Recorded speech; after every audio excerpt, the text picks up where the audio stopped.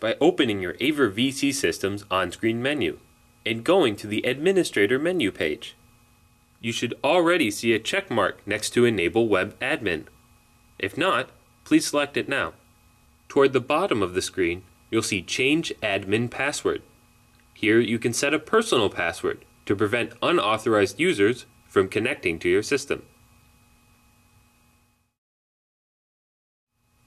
Open a web browser and enter your VC system's IP address.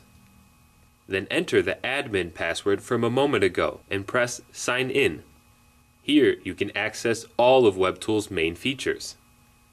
Upon selecting Camera Control, you'll immediately see a live streaming image from your VC system.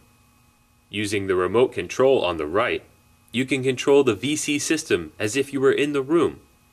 Aside from access to basic camera controls and system settings, technical support staff can also press Info to troubleshoot issues in no time.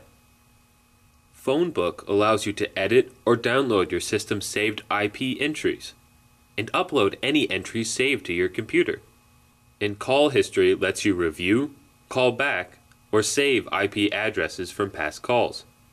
In the Settings feature, you can remotely update your system's firmware perform system recovery, or review system test results. By allowing users to remotely access and troubleshoot their VC systems, WebTool creates a more efficient, more effective video conferencing experience.